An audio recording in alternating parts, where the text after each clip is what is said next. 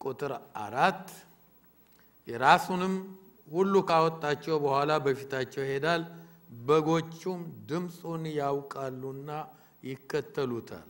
የሚከተሉት ለምንድን ነው? ድምፁን ስለሚያውቁ። ቁጥር 14 መልካም እረኛ እኔ ነኝ፣ አብም እንደሚያውቀኝ እኔም አብን እንደማውቀው የራሴን በጎች አውቃለሁ፣ የራሴን በጎች ያውቁኛል፣ ነፍሴንም ስለ በጎች አኖራለሁ። ስለዚህ ርዕሱ የወጣው ከዚህ ነው። መስማት፣ የእረኛውን ድምፅ መስማት፣ የጌታን ድምፅ መስማት አስፈላጊ እንደሆነ ድምፁን ደግሞ ደጋግመን ስንሰማው ከሌሎች ድምፆች እንለየዋለን። አሁን ወደ ኋላ ሄጄ የተማርነውን ሁሉ አልነግራችሁም። ከአራት ምንጭ ሰው እንደሚሰማ በዚህ ትምህርት ጊዜ ተነጋግረናል። አንደኛው የራሱን ድምፅ ይሰማል ሰው፣ ሁለተኛው የሌሎችን ድምፅ ይሰማል፣ ሶስተኛው የሰይጣንን ድምፅ ይሰማል። ሰይጣን የሚናገር ሰይጣን ነው። እግዚአብሔር ደግሞ የሚናገር አምላክ ነው። የእግዚአብሔርን ድምፅ መስማት ይችላል። ከዛ ውስጥ ለይቶ ያውቃል።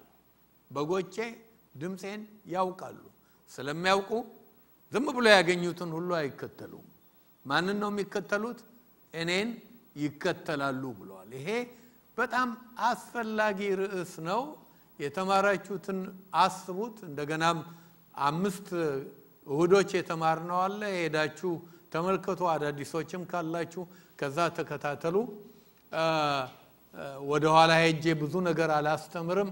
ትምህርቱን እቀጥላለሁኝ።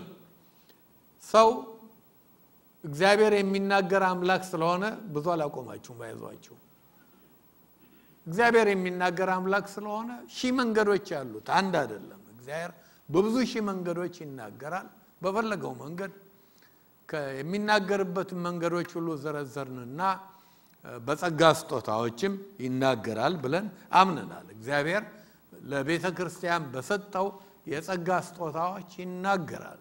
እግዚአብሔር የሚናገር አምላክ ነው። ሁሉም ለራሱ ዓላማ ለቤተ ክርስቲያን የሰጣቸው ናቸው።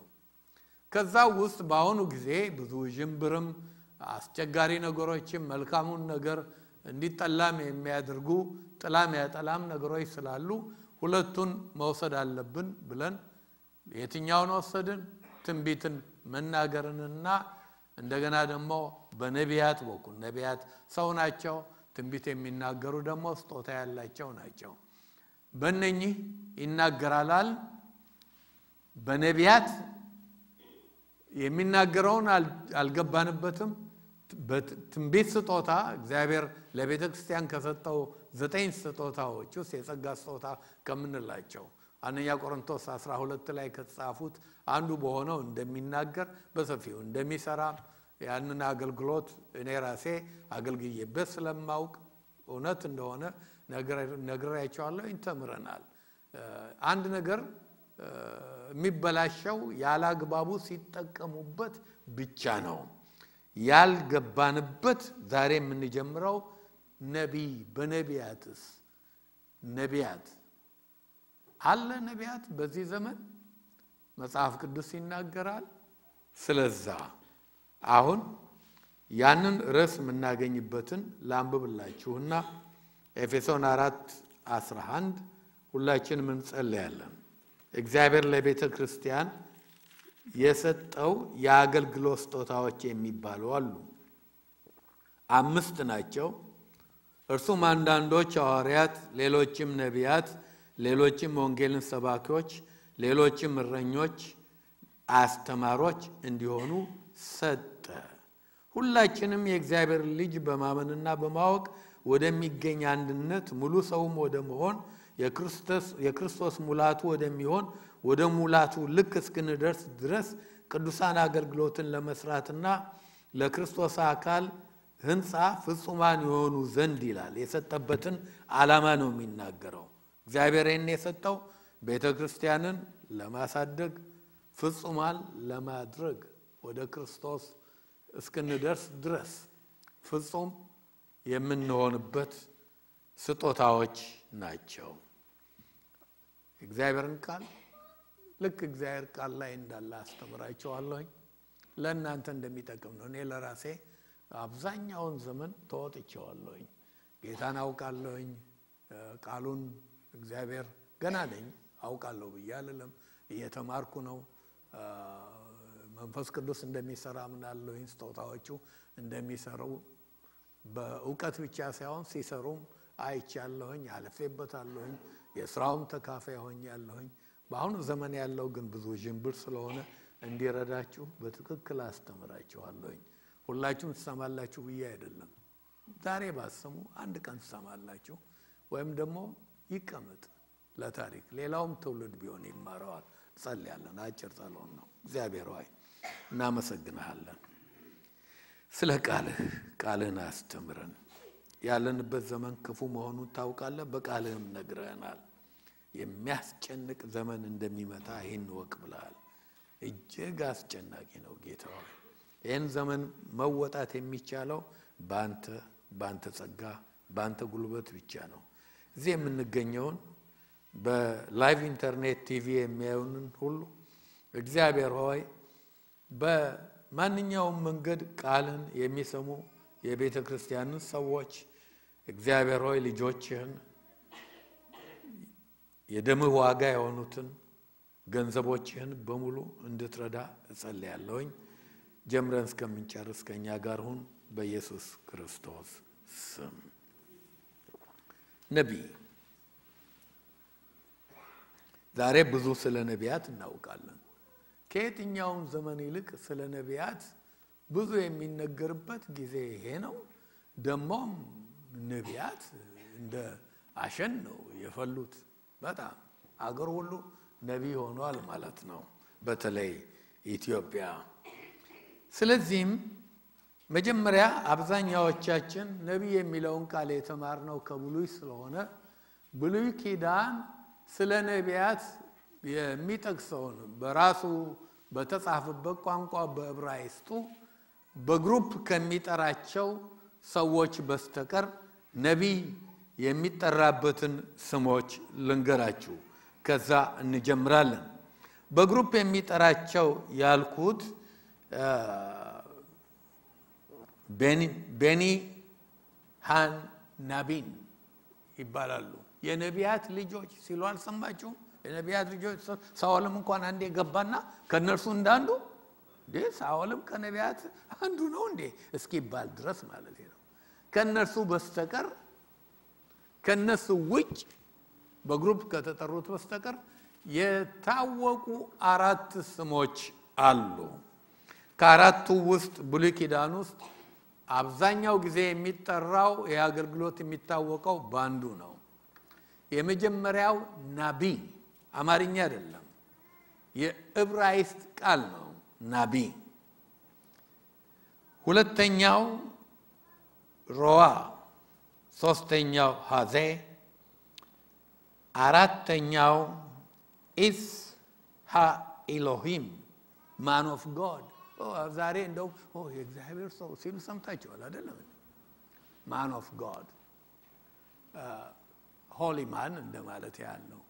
ቅዱሱ ሰው ማለት ነው። እነኚህ አራት ስሞች ብሉይ ኪዳን ውስጥ አሉ። ነቢ ማለት ጥሬ ትርጉሙ ቱ በብላብ በብላብ መፍለቅለቅ፣ ውስጡ የሚፍለቀለቅ ነገር አለ። የእግዚአብሔር ሀሳብ እንዲናገር የሚሰጠው ማለት ነው። ይሄ የሚያመለክተው የእግዚአብሔርን ሀሳብ እንደሚናገር ማለት ነው። የራሱን አይደለም፣ የእግዚአብሔርን ሀሳብ የሚናገር ማለት ነው። ብሉይ ኪዳን ውስጥ በብዛት የተጠቀሰው ይሄ ቃል ነው፣ ነቢይ። ትርጉሙ ይሄው ነው ያልኳችሁ ነው። የእግዚአብሔርን ቃል የሚያመጣ ማለት ነው። አብዛኛውን ጊዜ የተነገረው በዚህ ነው። ደግሞም አማርኛ ሰማይቲክ ስለሆነ ናቢ እኛ ደግሞ ምን ብለነዋል? ነቢይ ብለነዋል። ቅርብ ነው። አያችሁ፣ አማርኛና ዕብራይስጥ ብዙ የሚወራረሱ ቃላቶች አሉት። ከዚህ የተነሳ በአማርኛችን የታወቀ ነው። ዛሬም አብዛኛዎቻችን የምናውቃቸው በዛ ነው። ሀዜ ወይም ያኛው ሁለተኛው ሮዌ የሚለው ስም ግን to see ወይም to perceive ማለት ነው። ማየት ወይም መመልከት ማለት ነው። የተመለከተውትን የሚናገር ሆኖም ግን ይሄንን ቃል ዕብራይስጡ ለሌሎችም ነገሮች ለንጉሥ ምክር የሚሰጥም ለሌሎችም ሁሉ ተጠቅሞበት ስለሚያውቅ ስለ ነቢይ የሚናገረው ቃል ናቢይ የሚለው ብቻ ነው። አብዛኛው የተለመደው ያ ቃል ነው። ሶስተኛውን ነግራቸዋለሁኝ man of God የሚል የእግዚአብሔር ሰው አራተኛው ማለት ነው የሚለው ነው። መጽሐፍ ቅዱስን ስናነብ እንግዲህ ስለ ሁለት አይነት ነቢያት እናነባለን። ሁለት ያልኩት በብሉይ ኪዳንም ነቢያት አሉ፣ በአዲስ ኪዳንም ቅድም እንዳነበብኩላችሁ ኤፌሶን አራት አስራ አንድ ላይ ነቢያት አሉ። ልጠይቃችሁ ስንት አይነት ነቢያት አሉ አልኩኝ? ሁለት አይነት። የትኞቹን ማለቴ ነው? የብሉይ ኪዳን ነቢያት አሉ፣ በአዲስ ኪዳንም ደግሞ ነቢያት አሉ። ወደ አዲስ ኪዳኑ ስንመጣ አሁንም ደግሞ አዲስ ኪዳን ውስጥ ብዙዎቻችን አሶሼት የምናደርገው የምናያይዘው ሁለት አይነት ሰዎችን ነው ከነቢያት ጋር የምናያይዝ። አንደኛው የትንቢት ስጦታ አለ። አስተምሬያቸዋለሁኝ በዝርዝር አንደኛ ቆሮንቶስ ምዕራፍ 12 ላይ የጸጋ ስጦታዎች ብለው ከሚዘረዘሩት ዘጠኝ ስጦታዎች መካከል አንዱ ትንቢትን መናገር ይላል። ትንቢት የግፊት ስጦታ ነው። ከውስጥ እየገፋ በመንፈስ ቅዱስ የሚመጣ ማለት ነው። ትንቢትን ስለመናገር ብዙ አስተምሬያቸዋለሁ። ሁለተኛው ግን ኤፌሶን ምዕራፍ አራት ቁጥር 11 ላይ እንደተጻፈው የአገልግሎት ስጦታ ወይም የትንሣኤው ስጦታ የሚባል ነው። አምስት ናቸው። አስተማሪ፣ እረኛ፣ ወንጌላዊ፣ ነቢይ፣ ሐዋርያ የተጻፈውን ከዛኛው ከመጨረሻው ሄጄ ወደ እንደ አረብኛው ነው ያነበብኩላችሁ። አምስት ከዚህ የተነሳ እነዚህ ስጦታዎች በሌላም ስም ይታወቃሉ። አንደኛው የትንሣኤው ስጦታዎች ይባላሉ ብያችኋለሁ። ሁለተኛው the five fold ministries ምን ማለት ነው? አምስቱ ጥንድ ስጦታዎች ይባላሉ። ለምን በእነኚህ ሁለት ስሞች እንደተጠሩ ላስረዳችሁ። ትኩረታችን እዚህ ላይ ያሉት ነቢያቶች ላይ ነው። ዛሬም የሚቀጥለው ሳምንትም በርዕሳችን መሰረት ግን አሁንም የት ውስጥ ነን? መስማት፣ ማወቅ፣ መከተል። አሁንም የት ነን? መስማት ላይ ነን። መስማት ላይ ነን። ማወቅን እንናጋገራለን። ይህንን ስንጨርስ መከተል የሚለው ላይ ደግሞ መከተል ያው የመታዘዝ ሕይወት ስለሆነ ክርስቶስን መከተል የደቀ መዝሙርነት ሕይወት ስለሆነ ወንዶሰን ለአንድ ወይም ለሁለት እሁድ እንዲያስተምረን እንዲያስብበት ነግሬዋለሁኝ። አስብበት። OK። ሲጨርስ ወንዶሰን እንዲያስተምር አድርጌያለሁኝ። OK። የትንሣኤው ስጦታ የተባለበት ምክንያት ስጦታው ክርስቶስ በምድር ላይ በነበረበት ጊዜ ክርስቶስ አንድም አይነት ነቢይ አልሾመም፣ አልቀባም፣ አልነበረም። የብሉይ ኪዳን ነቢያት ነበሩ። በዘካርያስ ቆመ። አራት መቶ ዓመት ነቢያት አልነበረም። በኤልያስ መንፈስ ይመጣል የተባለ ነበረ። የመጨረሻው የብሉይ ኪዳን ነቢይ ማን ነው? መጥምቁ ዮሐንስ ነው። ብሉይ ክርስቶስ አንድም ነቢይ አልሾመም። የትንሣኤው ስጦታ የሚባሉበት እዚሁ ላይ አለ። ኤፌሶን አራት ላይ ብታነቡ እኔ ያነበብኩላችሁ ቁጥር 11 13ን ነው። ሄዳችሁ ቁጥር አስርን ብታነቡ የሚለው ወደ ላይ በወጣ ጊዜ ነው የሚለው ክርስቶስ ከሞተ በኋላ ከተነሳ በኋላ ካረገ በኋላ የወረደውን ሁሉ ይሞላ ዘንድ ከሰማያት ሁሉ በላይ የወጣው ደግሞ ያው ነው። እርሱም ይሄ የወጣው አንዳንዶች እንዲህ እንዲሆኑ አንዳንዶች እንዲህ እንዲሆኑ አድርጎ ለቤተ ክርስቲያን ሰጠ ይላል። ስለዚህ ከትንሣኤ በኋላ ክርስቶስ ሲሞት ቤተ ክርስቲያን ነበረች፣ ተከታዮች ነበሩት። የሐዋርያት ሥርዓትን እንዳልተማረ ሰው እንዳትቀመጡ። ቤተ ክርስቲያን የተመሰረተችው መቼ ነው? thirty AD ላይ የጴንጤ ቆስጤ ቀን ነው። ካረገም እንኳን በኋላ ማለት ነው ሲወጣ ከአስር ቀን በኋላ ለምትመሰረተው የጴንጤቆስጤ ቀን ለምትመሰረተው ቤተ ክርስቲያን ገንቢ እንዲሆኑ ወደ ፍጹምነት እንዲያደርሱ ይህን ስጦታ ሰጠ ይላል። ስለዚህ የትንሣኤው ስጦታዎች ይባላሉ። አምስት ጥንድ የሚባልበት ምክንያት ደግሞ ው ከዚህ በፊት የተማርነው የትንቢት ስጦታ የጸጋ ስጦታ gift ነው። ለቤተ ክርስቲያን እንዲሰጡ ለማንም የሚሰጡ ስጦታ ነው። ያኛው የሚሰራ ነው። ይህኛ ግን ለቤተ ክርስቲያን የተሰጠው gift ሳይሆን ሰዎች ናቸው። እግዚአብሔር ሰዎችን ውስጣቸው ይሄንን ስጦታ አስቀምጦ በሌላ ቃል ቀብቶ ሰዎችን ለማን ሰጣቸው ይላል? ለቤተ ክርስቲያን ሰጣቸው። በራሳቸው ቸርቻሪ እንዲሆኑ የራሳቸው ሰዎች እንዲሆኑ አይደለም። የማን ሰዎች እንዲሆኑ? የእግዚአብሔር ሰዎች፣ የቤተ ክርስቲያን አገልጋዮች ቤተ ክርስቲያንን እንዲያገለግሉ ማለት ለቤተ ክርስቲያን ሰጣቸው ይላል። ስለዚህ ስጦታውም ሰዎቹም አንድ ላይ ስለተሰጡ ምን ይባላል? ጥንድ ስጦታ ይባላል። ስለዚህ ስጦታ ብዙ የእውቀት ጉድለት አለ። ዛሬ ባለፈውም ጊዜ አንዳንድ ነገሮች ጠቃቅሰናል። ስለዚህ ከብሉይ ኪዳን ነቢያት ጋር ንጽጽር በማድረግ አስተምራቸዋለሁ። ዛሬ በተለይ ኢትዮጵያ ውስጥ ያሉት ነቢያት የሚመስላቸው አሁንም እስራኤል ውስጥ ናቸው። አሁንም ከነአካዝ ከነምን ከነምን የሚታገሉ ናቸው። ገና ክርስቶስ አልመጣም። ስሙንም ሲያነሱ አይሰሙም አብዛኛዎቹ እና አሁንም እዛ mindset ውስጥ ናቸው። የአዲስ ኪዳን ነቢያት አሉ። ክርስቶስ ከትንሣኤ በኋላ ለቤተ ክርስቲያን የሰጣቸው ሁለቱም ነቢያት ናቸው። ግን የአዲስ ኪዳን ነቢይ፣ የብሉይ ኪዳን ነቢይ ሁለት የተለያየ ነገር ነው። ዛሬ እውቀቱ ስለሌለ እንደውም ከብዙ ነገር ይማታል። ትንቢት የሚናገር ሁሉ ነቢይ ነኝ ይላል።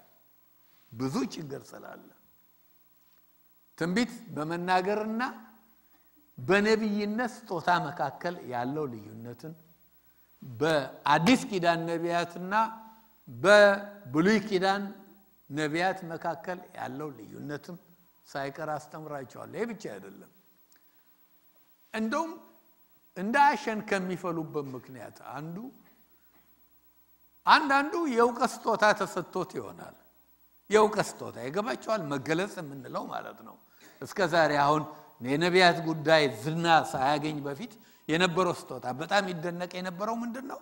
እንደውም አንዳንዶቹ እነገሌ በጸጋ ያገለግላሉ፣ እነገሌ ደግሞ በምን ሁሉ ይሉበት የነበረው ሌላ ነበር። አሁን አርስቱ ሌላ ሆነ እንጂ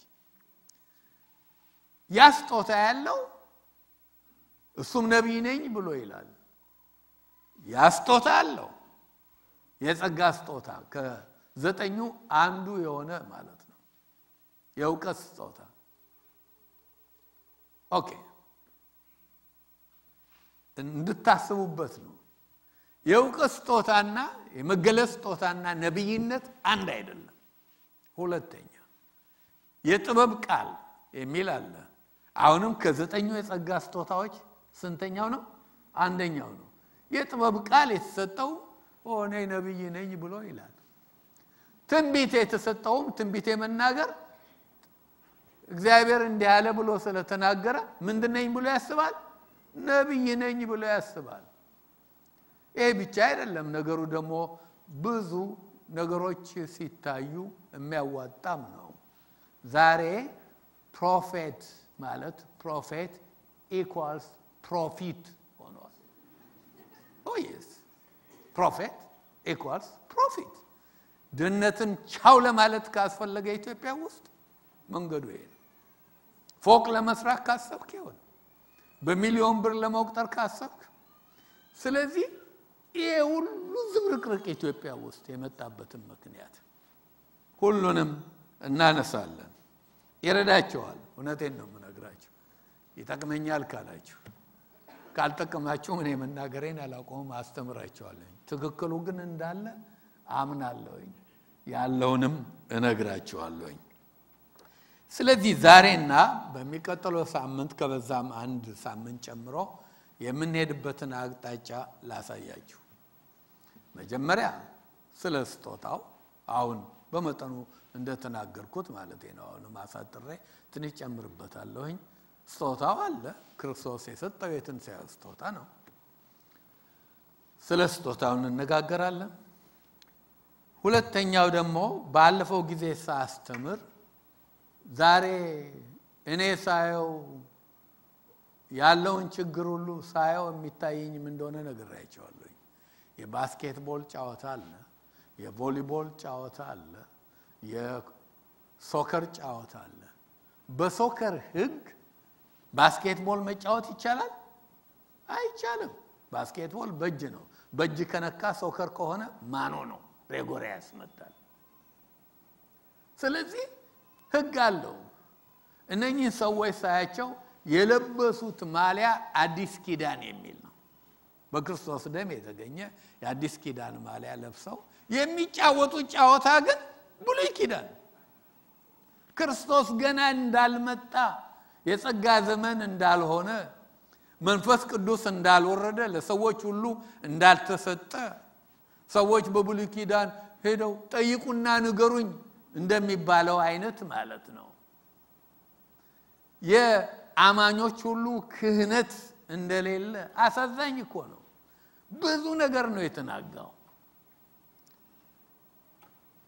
ይሄ ስለሆነ ከብሉይ ኪዳን ዛሬ የምንማረው ከብሉይ ኪዳን ነቢያት ጋር ያላቸውን ልዩነት እናያለን። ከዛም እንዳልኩት የጠቀስኩትን ሁሉ ከጥበብ ቃል ከእውቀት ቃል ያለውን ልዩነት እንጠቃቅሳለን። ስለ አዲስ ኪዳን ነቢያት እና የአጥቢያ ቤተ ክርስቲያን really ለቤተ ክርስቲያን ተሰጠ ነው የሚለው። እነዚህ ሰዎች የቤተ ክርስቲያን ናቸው ወይስ የራሳቸው ናቸው? ስለ አሿሿማቸው እንነጋገራለን። አብዛኛዎቹ ስለ አገልግሎታቸው ዓላማ እናነሳለን። ስለ accuracy እናነሳለን። ስለ መመሪያ መስጠት ወይስ confirm ማድረግ እንደዚህ ቃል infallible የሆነ የእግዚአብሔርን ቃል ይናገራሉ ወይስ ዝም ብለው ይናገራሉ? በእግዚአብሔር ቃል ይመዘናሉ። የትኛው? በዛሬ ዘመን ያለውን ደግሞ ሌሎችም ችግሮች አንስተን ትክክለኛውን እንጠቁማለን። ስለ ሐሰተኛ ነቢያት እንነጋገራለን። ይሄ ምንም ያስደንቅ አይደለም። በብሉይም ሐሰተኞች ነበሩ አይደለም? ለጉሽ ወይን ጠጅ ሲሉ የሚተነብዩ ነበሩ አይደለም? ሐሰተኛ ነቢያት በአዲስ ኪዳንም ሐሰተኛ ነቢያት አሉ። ክርስቶስም ይመጣሉ ብለዋል አይደለም? አስጠንቅቆናል። ክርስቶስ ራሱ አስጠንቅቆናል። ስለ እሱ እንነጋገራለን። መጨረሻ ላይ ትንቢትን እውነተኛውን አለ? እውነተኛው አለ። እውነተኛውን ከሐሰቱ መለየት የምትችሉበትን ቴስት ማድረጊያ መመርመሪያ ያሰጣቸዋል። መርምረን ሐሰተኛና እውነቱን ለማወቅ የምንችልበትን መንገድ። መጨረሻም ላይ የትምህርታችን ርዕስ መስማት፣ ማወቅ፣ መከተል ስለሆነ መስማት ላይ ስለሆን እግዚአብሔር የሚናገር አምላክ ነው። እግዚአብሔር ይናገራል በሺህ መንገድ እኔ እግዚአብሔር እንደሚናገር አምናለሁ። ይናገረኛል። የእግዚአብሔርን ድምፅ አውቃለሁኝ። እግዚአብሔር ይናገራል፣ በሰዎችም ይናገራል። እግዚአብሔርን በሺህ መንገዶች መስማት ይቻላል። ዛሬ ብዙ ሰዎች ካለው ችግር የተነሳ ጆሮአቸውን ለእግዚአብሔር ድምፅ ዘግተዋል። በጣም ብዙ ሰዎች ወትፈው ነው ያሉት። እንዲወትፉ የሚያደርጋቸው የእግዚአብሔርን ድምፅ እንዳይሰሙ እንቅፋት የሆነባቸው ነገር ምንድን ነው? ይህንንም አስተምራችሁና ነው መስማት ከሚለው ወጥተን ማወቅ ላይ የምንገባው። የአዲስ ኪዳን ነቢያት ቅድም እንዳልኩት ማለት ነው ሁለት አይነት ትንቢት አለ። አንደኛው የትንቢት ስጦታ ብቻ ነው። አንደኛ ቆሮንቶስ ምዕራፍ 12 ላይ ካሉ ዘጠኝ ስጦታዎች አንዱ ስለሱ ብዙ ተምረናል። ሁለተኛው ላይ ነው ትኩረታችን። five fold ministry ከሚባሉት ከአምስቱ መካከል ስለሆነው ማለት ነው። የተሰጡበትን ዓላማ እንደገና ልውሰዳችሁ። ቁጥር 13 ላይ ኤፌሶን አራት ቁጥር 13 ላይ በደንበኛው ይገልጻል። የእግዚአብሔርን ልጅ በማመን በማወቅ ወደሚገኝ አንድነት ሙሉ ሰውም ወደ መሆን የክርስቶስ ሙላቱ ወደሚሆን ወደ ሙላቱ ልክ እስክንደርስ ድረስ ቅዱሳን አገልግሎትን ለመስራትና ለክርስቶስ አካል ሕንፃ ፍጹማን የሆኑ ዘንድ ይህንን አካል ለመስራት ለዛ አገልግሎት ነው። አንዱ አይደለም የሚሰራው፣ አምስቱም የአገልግሎት ስጦታዎች ናቸው። ከሌሎቹ ስጦታዎች ሁሉ እግዚአብሔር በቤተ ክርስቲያን ካደረጋቸው መንፈስ ቅዱስ ከሚሰጠው ከዚህ በፊት ሳስተምር ወደ 26 እንደ አደረስኩላችሁ ቁጥሩን የአገልግሎትንም ስጦታ የጸጋን ስጦታ እንደገና ደግሞ ሌሎችንም ስጦታዎች ስንጨምር ያን ያክል እንደሚደርሱ ተነጋግረናል። ከነኚህ ሁሉ ጋር ሆኖ የእግዚአብሔርን ቤተ ክርስቲያን ተሰርታ እንድታልቅ የሚረዳ ስጦታ ነው። ዓላማው ለዚህ ነው። በጣም ያስፈልጋሉ። apostles govern፣ ሐዋርያት አስተዳደራዊ ምሪት ይሰጣሉ፣ መስራች ናቸው። prophets guides የእግዚአብሔርን ሀሳብ በመግለጽ ምሪት ይሰጣሉ። evangelist gather ነዶውን ዘሩን ይሰበስባሉ። pastors guard የተሰበሰበውን guard መጠበቅ። teachers ground ይተክላሉ፣ ስራቸውን ሰደው እንዲሄዱ። አስተማሪዎች እንደዛ ናቸው። ስለዚህ እነኛ አምስት ስጦታዎች ያሉ ናቸው። ገምቱ። ብዙ ሰዎች አሉ፣ መካከላችሁም አሉ፣ ፓስተራችሁም አለ። ከአምስቱ ስንቱ እንዳለው እናንተ ልትገምቱ ትችላላችሁ። ነቢይ አይደለሁኝ።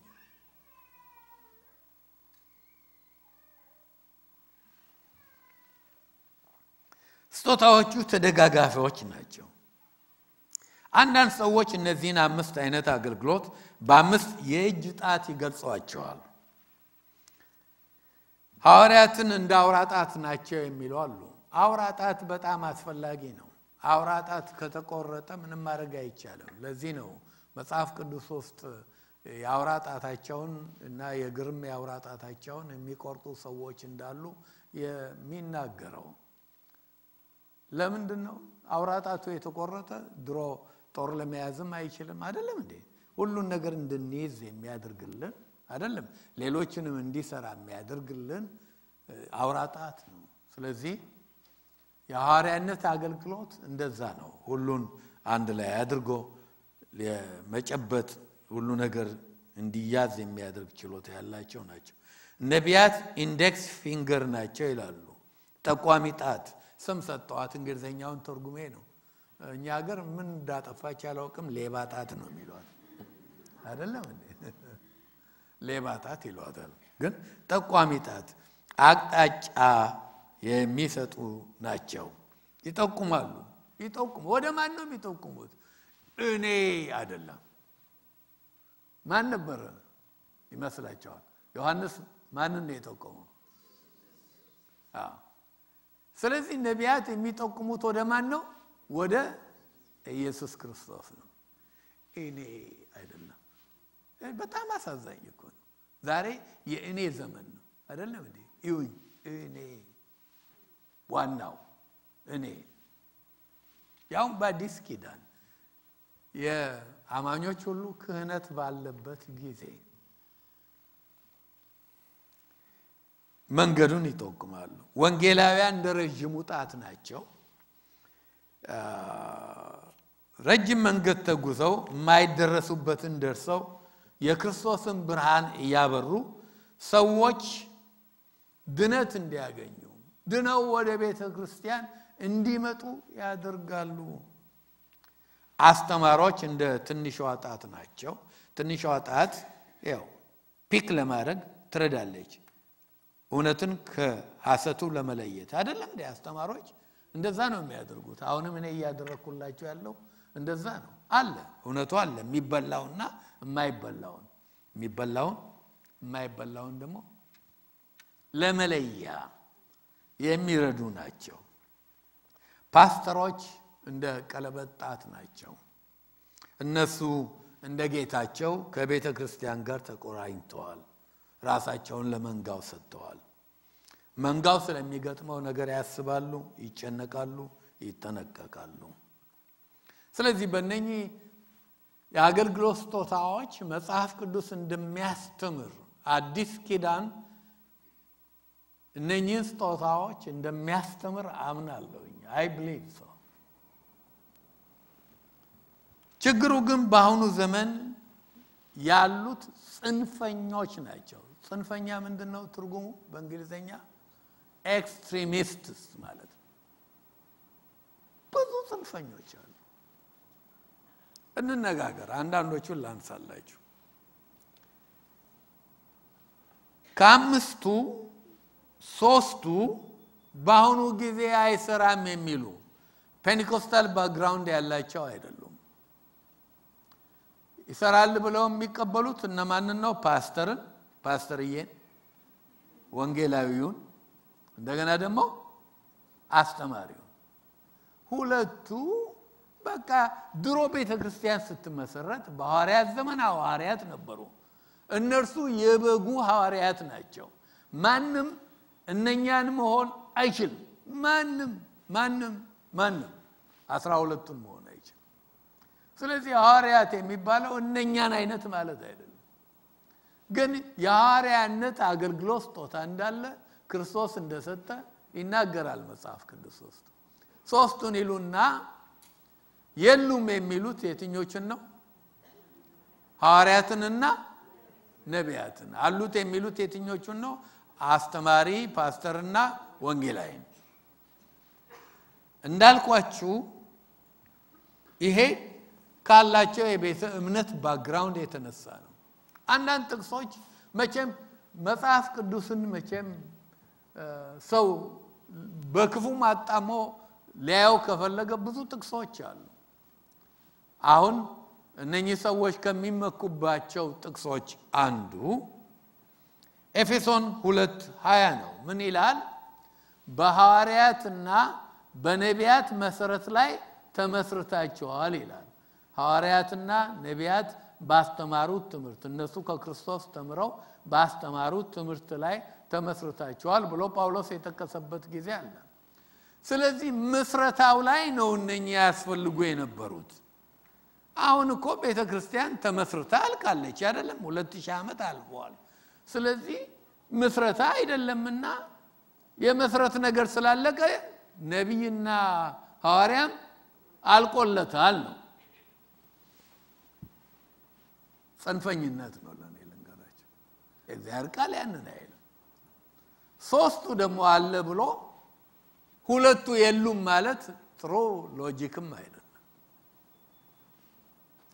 ሌሎች ጽንፈኞች ደግሞ አሉ። እናምናለን ከሚሉት መካከል ማለት ነው። ቃሉ ከሚለው በላይ መጽሐፍ ቅዱስ ውስጥ ከተጻፈው በላይ እንደውም ሌሎቹን አገልግሎቶች ሁሉ ደምስሰው እኛ አምስቱ በቃ የቤተ ክርስቲያን ዋና ስጦታም በሁሉም መንገድ ሌላውን ሁሉ ደምስሰው የቤተ ክርስቲያን ምሪትም አስተዳደርም ሁሉ ነገር በእኛ መሆን አለበት ያሉ እሱም ብቻ አይደለም፣ ሀፍረት የላቸውም። አልፈው የሀገሪቱን ኢኮኖሚ ሁሉ ሳይቀር መቆጣጠር የሚገባቸው እነኛ አምስቱ ናቸው የሚሉ ራሳቸውን በተለያየ ስም የሚጠሩ አሉ። ብዙ ፈረንጆች ብዙ መጽሐፍቶች አሉ። ሰርክል ያደርጋል በአበሾችም መካከል ማለት ነው። ትምህርቱንም የቀዱ አሉ። እኛ ይሄኛው dimension አምስተኛው ነን፣ ስንተኛው dimension ይሄኛውን የሚሉ ቅብጥርጥር የሚሉ አሉ። ለእኔ ቅብጥርጥሮች ናቸው፣ ጽንፈኞች ናቸው። አይ አለም አበዙት። ከተጻፈው አትለፍ ይላል የእግዚአብሔር ቃል ነው የሚለው። ከተጻፈው አትለፍ።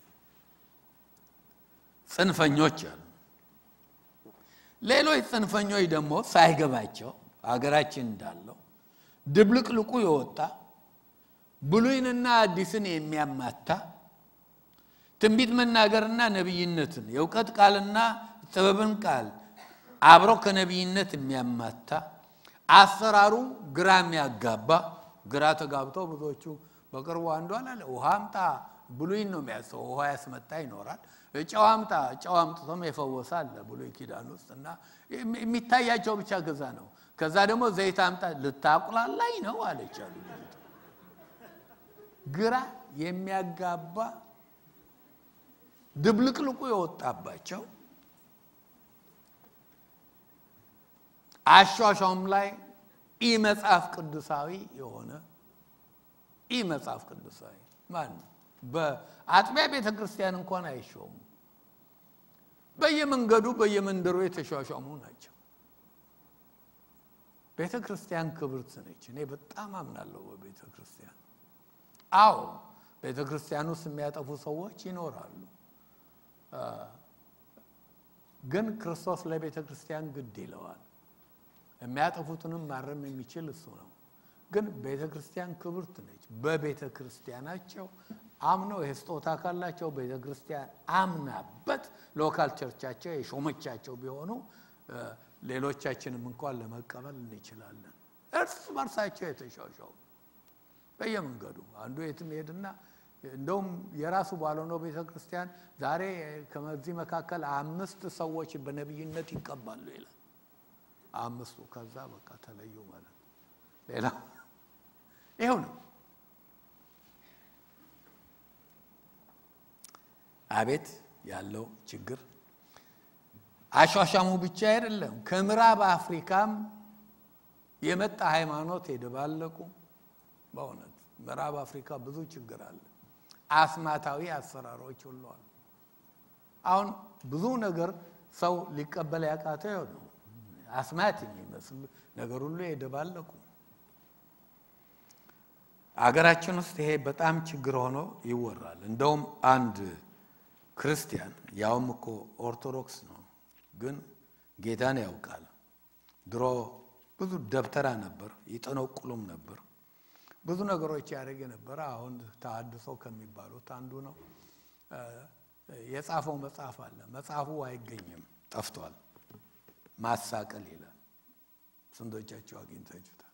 ማሳቀል አልፎ ተርፎ የእኛን እያዘነ ምክር ነው። አረ ለፕሮቴስታንቱም ወንድሞቻችን ይላል። ድነዋል፣ ግን ይሄ ሰውዬ የዳነ ሰው ነው።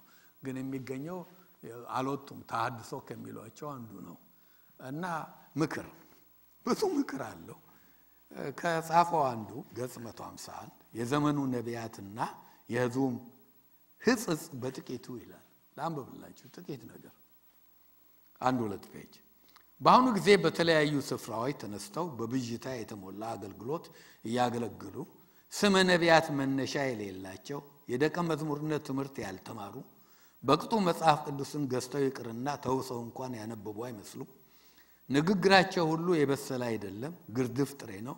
ፍሬ ከርሲኪ፣ ማንንም ፈቀቅ የማያደርግ ድሆችን የሚያሸማቅቅ አገልግሎታቸው ስጋዊና ምድራዊ በረከት ላይ ብቻ የቆመ በዚያው የሚዘመሩ መዝሙሮችንም የእግዚአብሔርን ክብር የሚገልጡ ሳይሆኑ ምድራዊ ሀብትን ማዕከል ያደረጉ ድሆችን የሚያሸቅቁ የሚያሸማቅቁ የሚያሳትፉም ገለባ መዝሙሮች ናቸው። ነቢያት ግን ባዮቹ ራያቸው ገንዘብ፣ ዓላማቸው ገንዘብ፣ ግባቸው ገንዘብ፣ ሕይወታቸው ገንዘብ፣ ሁለንተናቸው ገንዘብ ባላገለገሉትና ባልደከሙበት ሕዝብ ላይ እየሰለጠኑ የሕዝብ ዘራፊዎች፣ አስኮብላዮች ይላል። ብዙ ነገር ልለፈው።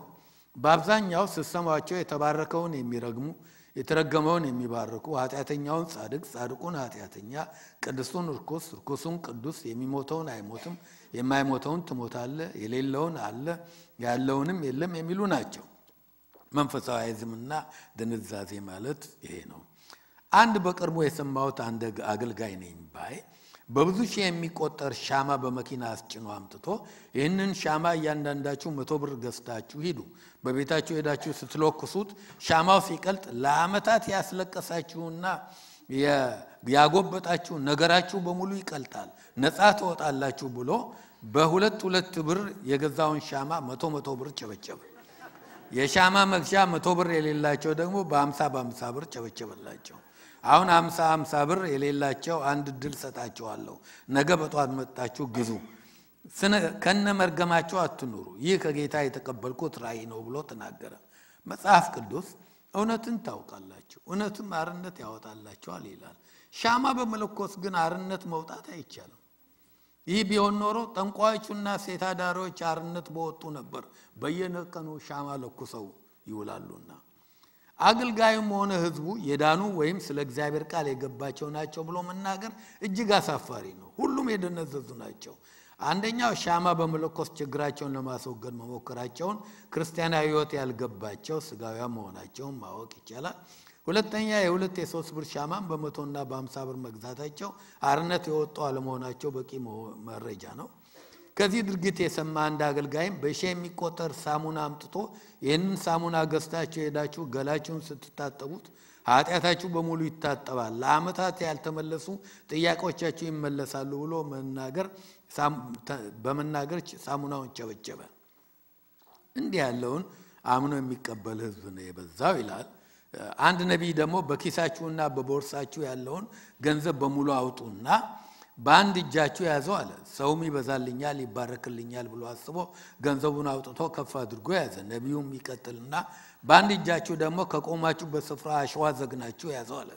አሁን ገንዘቡን አምጡና እዚህ ጣሉት፣ አሸዋውን በኪሳችሁ ክተቱና ቤት ከደረሳችሁ በኋላ አሸዋው ቆጥራችሁ የማትጨርሱት ብር ሆኖ ታገኙታላችሁ አለ። ህዝቡም ብሩን አስረክቦ አሸዋ ይዞ ወደ ቤቱ ተመለሰ። ቤታቸው ደርሰው አሸዋውን ሲመለከቱ ግን ያው አሸዋ ብቻ ሆኖ ቀረ ይላል። ብዙ ነገር ይናገራል። እንደውም ምን ይላል መሰላችሁ ዘልዬ አንባቢው አንድ ሚስጥር ልንገር። አንድ በጣም ኃይለኛ የሆነ ደጋሚ ጓደኛዬ ይላል በቆሎ ትምህርት ቤት አብረን የነበርን የአንድ ታዋቂ ነቢይ ዘመድ አግብተዋል። በቆሎ ትምህርት ቤት እያለን አጋንንትን ስበን ሚስጥርን የምናውቅበት አሰራር ነበር። አሰራሩ በሱዳን ሽቱና በዕጣን ጢስ ተደርጎ የሚሰራ ሆኖ የሰውን ሁኔታ የመጣበትን ዓላማ፣ ከየት እንደመጣ፣ ለምን እንደመጣ፣ ማን እንደሚባል የዘር ማንዘሩን ስምና አድራሻ ሳይቀር መናገር የሚያስችል ነው። በሌላ መንገድም የሰላቢ አሰራር ነው። ይህንን አምጣ፣ ያንን ውሰድ፣ ይህን አንሳ፣ ያንን ጣል ብሎ የጠየቀውን ሁሉ ተግባራዊ ማስደረግ የሚያስችል ነው። ይህንን ድግምት እገሌ ለሚባል ነቢይ ሰጥቼዋለሁ። በኃይል እየሰራበት በጣም ታዋቂ ሆነዋል። አሁን ባለ ሶስት መኝታ ኮንዶሚኒየም ሲፋን መኪና ገዝቶልኛል ብሎ አጫወተኝ። ጓደኛዬ ነው ይላል። የዚህን ሰውዬ ስም አወጣለሁ ይላል። በሚቀጥለው ጊዜ ታድሶ ለፕሮቴስታንት በሚለው መጽሐፌ ይላል። ትልቅ ነቢይ ከሚባሉት አንዱ። ስለዚህ አስማታዊ የሆነ ነገሮችም ሁሉ እየገቡ ነው። ይስቃል። ድሮ እኛ እናደርገው ነበረ ይላል። ኦርቶዶክስ church ውስጥ እናደርገው የነበር ነገር አሁን እዚህ ገብቶ ይላል። አሳዛኝ ነው። እኔን የሚያሳዝነኝ እንዲህ ያሉ እንኳን ሌላ ቦታ ያሉ ሰዎች የሚስቁበት ማለት ነው። ጽንፈኝነት ነው። ሌሎችንም የሚገፋው ቅድም እንዳልኩት ፕሮፊት ነው። ብዙ ነው፣ ግን እውነቱ አለ እውነቱ አለ። ከዚህ የተነሳ እኮ ነው the largest Pentecostal denomination የቱ እንደሆነ ታውቃላችሁ? የትኛው ነው ከፔንቴኮስታል መካከል the largest ብዙ church ብዙ አባል ያለው Assembly of God Assembly of God ሂዱና website ኣቸው የቸርቾች ማለት አይደለም የ denomination ኑ position paper አላቸው። position paper የዚህ አይነት position paper ስታዩ ስጦታው እኔ እንደማስተምረው ጌታ የሰጠው አለ። ነገር ግን position ኣቸው ከዚህ የተነሳ በአሁኑ ጊዜ ብዙ ችግር ስላለና ስለተበላሸ ስጦታው ይሰራል እንጂ እገሌን ሐዋርያ እገሌን ነቢይ ብለን አንሾምም ይላል። largest Pentecostal church Assembly of God እኛ ሀገር ግን ተያይዘነዋል ማለት ነው። እንደ ትልቅ ነገር እንደ ትልቅ ነገር። ብሉይ ኪዳን የሆነ መስሎናል ማለት ነው። መረጃ ነው። ሂዱና check it position paper አላቸው። position paper ኣቸውን ይዩ ከአስተምሮት ጋር ይሰጧቸዋል። እና ስጦታውን ያምናሉ። አለ ቤተ ክርስቲያን ውስጥ ይሰራል። ሰዎች አሉ። ግን እገሌ ነቢዩ ብለን እገሌ ሐዋርያ ብለን ይህንን ሸክም ላያቸው ላይ አድርገን አናበላሻቸውም ይለን ትልቁ the largest Pentecostal church በዓለም ላይ። ስለዚህ በአዲስ ኪዳን ነቢያትና በብሉይ ኪዳን ነቢያት መካከል ያለው ልዩነት ላይ እንጀምር እንዲገባችሁ በእውነት ይሄ ከገባችሁ ትክክለኛ አመለካከት ይኖራችኋል። አለ ስጦታው ስሙ ላይ አይደለም ትልቁ። ለእግዚአብሔር ቤተ ክርስቲያን የተሰጡት። እግዚአብሔር አሁንም ቢሆን በስጦታዎች ሁሉ ሰዎችን አብስቶ ይባርክ። ቤተ ክርስቲያን ትታነስ ግን በትክክሉ ማለት ነው።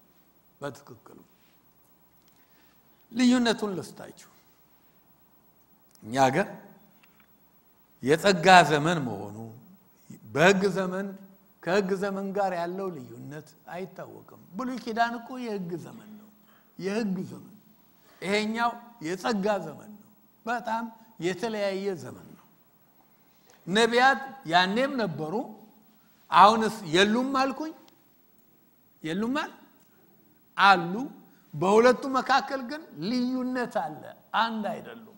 እኛ ሀገር አንድ እንደሆኑ አይነት ነው የሚያስቡት ክርስቶስ መምጣቱ መሞቱ መነሳቱ ማድረጉ ዘመኑ መለወጡ የመንፈስ ቅዱስ ዘመን መሆኑ መንፈስ ቅዱስ ለሰው ሁሉ መሰጠቱ ድሮ ለማንም አይሰጥም። አይደለም እንዴ? ያውም ውስጣቸው አይኖርም። የተመረጡ ሰዎች ላይ እነኚህ ነቢያት ያልናቸው የብሉይ ኪዳን ውስጥ ይወርድና የእግዚአብሔር መንፈስ በእኔ ላይ በኃይል መጣ ይላል። ከዛ ይናገራል አለቀ። ውስጥ ይኖራል አይኖርም። የእኛን መታደል ተመልከቱ ክርስቶስ ካደረገው መስዋዕት የተነሳ ቅዱሱ መንፈስ በዚህ በሸክላ ዕቃ ውስጥ አለ። ስለዚህ ካለ ደግሞ የእግዚአብሔር መንፈስ ስላለን ይናገረናል አይደለም?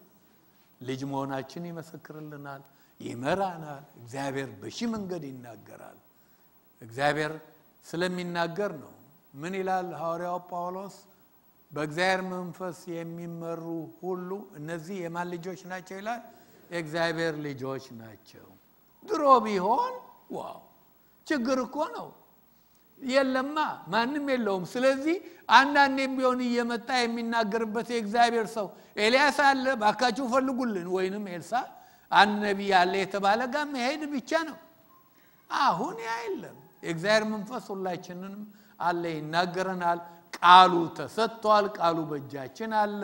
እነኚህ ስጦታ ያላቸው ደግሞ እግዚአብሔር ከሚናገርባቸው ሺህ መንገዶች አንደኞቹ ናቸው ሲናገሩ already እግዚአብሔር የነገረንን ወይም መንፈስ ቅዱስ ለልባችን የነገረውን ኮንፈርም ነው የሚያደርጉት ያሰኑልናል አዲስ ነገር አዲስ መመሪያ አይሰጡንም።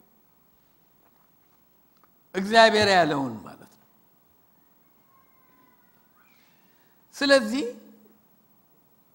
ተናግሮ ተናገረኝ ማለት ወይንም ደግሞ መጸለይ አቅቶን ከእግዚአብሔር መነጋገር ግንኙነቱ እኮ አለ። ግን ከመጸለይ ይልቅ ማጸለይ ብቻ የሚያውቁ ሰዎች በጣም አሳዛኝ ናቸው። ልዩነቶች ልንገራቸው አንድ የብሉይ ኪዳን ነቢያት የሕግ አገልጋዮች ናቸው። ነገስታቱ ከሕጉ ሲርቁ፣ ህዝቡ ከሕጉ ሲርቅ ሲስቱ ህዝቡን ወደ እግዚአብሔር ተመለሱ፣ ካልተመለሳችሁ ፍርድ ይጠብቃችኋል። አይደለም እንዴ? ተመለሱ የሚሉ የአገር ጉዳይ ላይ ትላልቅ ጉዳዮች ላይ የሚያተኩሩ ናቸው። የትም ቦታ ሄደው የእግዚአብሔር ባሪያ መሆናቸውን ለማስመስከር ስም ይሄ ነው፣ የጫማ ቁጥር ይሄ ነው አይሉ። አንድም ቦታ ብሉይ ኪዳን ውስጥ አላየንም። የሳተውን የሚመልሱ ናቸው። የአዲስ ኪዳን ነቢያት ግን የጸጋው አገልጋዮች ናቸው። በጸጋና በሕግ ያለውን ልዩነት ማወቅ ከፈለጋችሁ ውይ ኧረ አዲስ ኪዳን ስንት ቦታ አንብቡ። ሕጉ እንዲህ ብሎ ይፈርድባታል። በድንጋይ ትወገር ይላል። ጌታ ግን እኔም አልፈርድብሽም፣ ሂጂ ደግመሽ ግን ኃጢአት አትስሪ። ጸጋ እኮ ነው። እስቲ ጸጋ ባይሆን እዚህ ቤት መገኘት የሚችላለ ከእኔ ጀምሮ ማንኛችንም አንገኝ። ጸጋው ነው። የጸጋው አገልጋዮች ናቸው ነቢዮች። ሌሎችም ዘማሪው የጸጋው አገልጋይ እንደሆነ፣ ሰባኪው የጸጋ አገልጋይ እንደሆነ እነኚህም የጸጋው አገልጋዮች ናቸው። ስለዚህ የብሉዮቹ የሕግና የፍርድ አገልጋዮች ናቸው። ስለሆነም እግዚአብሔርን የማይታዘዙትን ማስጠንቀቅ ብቻ ሳይሆን ፍርድ እንደሚመጣባቸው ይናገራሉ። አዲስ ኪዳን ግን የጸጋ ስለሆነ ይሄ ነቢይነትም ይሁን ሐዋርያነትም ይሁን ማንኛውም አገልግሎት ትንቢትም ይሁን የፈለገው የጸጋ ስጦታ ይሁን ዓላማው ሶስት ነው። ምንድን ነው?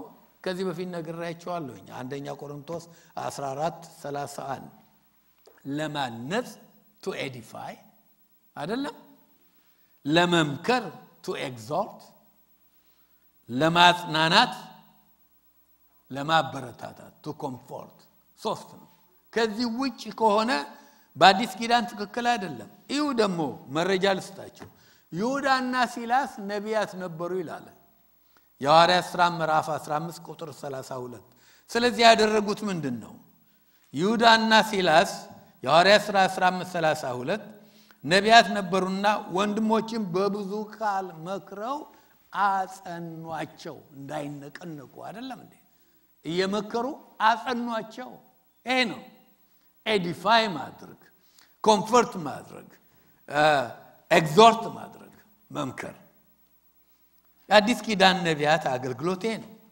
የእኛዎቹ ነቢያት ግን በአሁኑ ጊዜ የፍርድና የማስፈራራት ቃል የማስደንገጥ እኔ YouTube ቅባጥር ስየው ቅባጥር ስየው አላይ አንዳንዴ አንዳንዶች ጋሽ ተስፋዬ ቅባጥር ስየው አይተሃል ይሉኛል እና ይሄን ምን ይመስልሃል ብሎ ይልኩልኛል። አንዳንድ ያለ አንዳንዴ ውሂብ ደግሞ የሆነ ነገር ትጎረጎርና አይታ በቅርቡ አንድ ደሞዝ የሚባል ሰባኪ ሰምታለች። እሱ ሲናገር ይሄ ችግር አሁን አገር ቤት ያለው ችግር ነግቶታል እና ምን አለችኝ አንዱ አንዷን ምን አላት አሉ ይሄንን እንድታገቢ ገሌን ይሄንን ሰው ባታገቢ በአስራ አምስት ቀን ውስጥ በባጭ መታሽ አለው ብለዋል። አዲስ ኪዳን ነቢይ ይህን ማለት አይችልም። ማስፈራራት አይደለም። ምንድን ነው አልኳቸው? to edify to comfort to exhort ይሄ ነው። ስለዚህ ይሄ ጠንቋዮች ይላሉ። እኔ እንደውም አንድ ቤተሰብ የሆነ ሰው ሲያወራ የሰማሁት አንዷ ሄዳ የሆነ አሩሲ መቤት ምናምን የሚባሉ እሷ ሞታ ልጁ ነው ያለ የሆነ ጠንቋይ እዛ በምን እንደሄደች አላውቅም። የሆነ አድናታለሁ ብሎ ይሆናል ብትወጣ ከዚህ የእኔ ካዳሚ ሆና እዚህ በሌላም እንደ ሚስትም እያገለገለች ማለት ነው እንዳትወጣ ብሎ እዛው ካዳሚ ሆና ይኸው ቀርታለች። የሚያስፈራራ ይሄንን ባታደርጊ ይሄ ይመጣብሻል የሚል ጠንቋይ ነው። የአዲስ ኪዳን አሰራር አይደለም። የዞረባቸው ለዚህ ነው። ልዩነት አለው።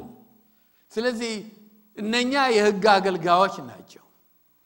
እኛ ግን የምን አገልጋይ ነን? የጸጋ አገልጋዮች ነን። ዓላማችን ማነጽ፣ መምከር እና ማጽናት ነው። ሁለተኛ ልዩነት ስንት ሰዓት አለኝ? ሰዓቱ ደርሷል እና ብዙ ልዩነቶች ስለ ብሉይ ኪዳንና ስለ አዲስ ኪዳን ሰጣችኋለሁ። የሚቀጥለው የብሉይ ነቢያት የእግዚአብሔርን ቃል ነው የሚያመጡት። ማስጠንቀቂያ የሚሆን ምንም ነገር ተቀብለው የእግዚአብሔርን ቃል የአዲስ ኪዳኖች ግን መቶ percent right መሆን አለበት። የነኛ ይቅርታ መቶ percent አንድ መቶ percent ከዚህ ነው next week የምንጀምር።